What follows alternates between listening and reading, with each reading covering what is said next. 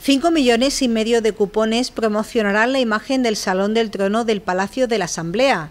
La ONCE dedica su sorteo este sábado a la ciudad autónoma en la serie monográfica que durante todo este año homenajea a los parlamentos autonómicos.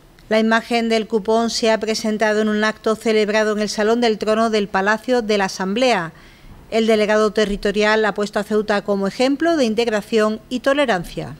El que llegue esta imagen de de la Asamblea de, Melilla, que representa, como saben, la soberanía popular y que representa también, de alguna manera, la diversidad, la solidaridad, la diversidad y, por tanto, también ese espíritu que supone la lucha por la, por la igualdad, por la igualdad de todas las personas, no solo ante eh, los deberes, sino también ante las obligaciones, ante los derechos. ¿no?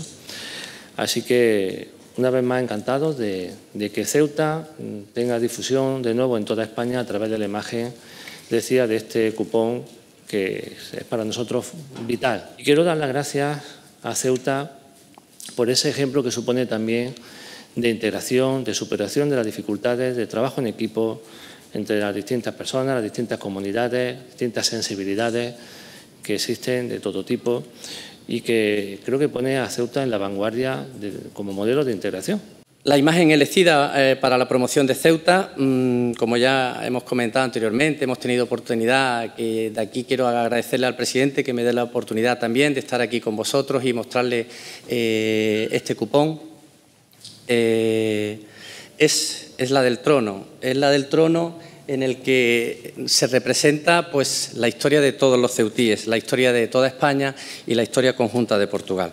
Indudablemente lo más importante de esta organización es que sirven como, motor para, para dar luz a esas personas que por un motivo u otro no pueden. Y eso es muy importante, pero yo diría que es más importante aún el que den luz a los que sí podemos ver para que veamos a los que verdaderamente nos necesitan. Muchísimas gracias por darnos esa oportunidad, enhorabuena y agradecido nuevamente de que pongan a Ceuta donde, donde el mejor sitio que puede ser, que es en un cupo. Muchas gracias.